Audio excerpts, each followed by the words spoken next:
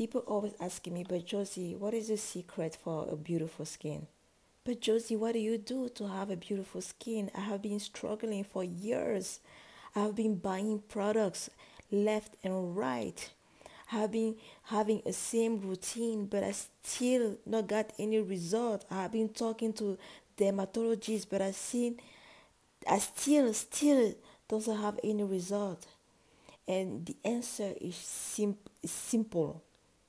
In life, when you want something, you need to be consistent. There is no products that are going to give you instant reward. There is no products that are going to hurt you.